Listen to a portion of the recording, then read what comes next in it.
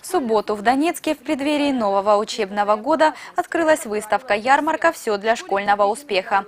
Участники выездной торговли представили широкий ассортимент школьной формы, разработанной на семи различных предприятиях легкой промышленности республики, а также обувь, спортивные костюмы, школьные принадлежности, украшения, товары ручной работы.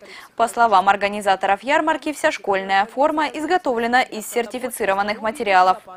Все предприятия получили добровольный сертификат «Стандарт Донбасса». Стандарт Донбасса подтверждает высокое качество и безопасность данной продукции. В рамках мероприятия гостям презентовали одежду для учеников начальной и старшей школы от местных модельеров, а также праздничные наряды от донецких дизайнеров. Школа – это все-таки учебный процесс, и тенденции моды должны быть классические, деловой стиль одежды.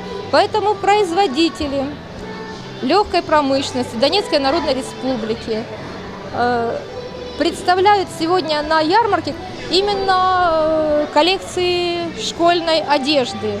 То есть это все различные сарафаны, платьица, рубашечки, Выставка-ярмарка в Донецком торгово-развлекательном комплексе «Сити-центр» продлится до 3 сентября обувь трикотажный